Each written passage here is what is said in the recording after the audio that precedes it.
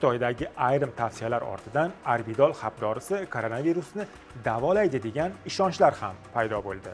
Arbidolni 1970 yillardan boshlab sovet ittifoqida ishlab chiqarishgan.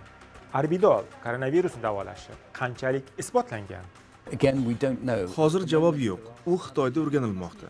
Bir necha hafta yo oylar ichida javobi chiqar. Bu dori qanday qilib koronavirusni davolashi mumkin aniq emas lekin ayrim ma'lumotlarga qaraganda arbidol sarsga qarshi ishlashi mumkin hozirgi holatda ham ish berar degan umiddamiz koronavirusga qarshi arbidolning ishlashi hali noma'lum bo'lsa-da, Rossiyada ishlab chiqariluvchi bu dori o'rtacha 30-35 ming so'm atrofida turadi. Dorixonada aytishlaricha, O'zbekistonda arbidolni sotib olish vasvasasi boshlangani yo'q. Lekin shunga qaramay, ko'plab dorixonalarda arbidol yo'q.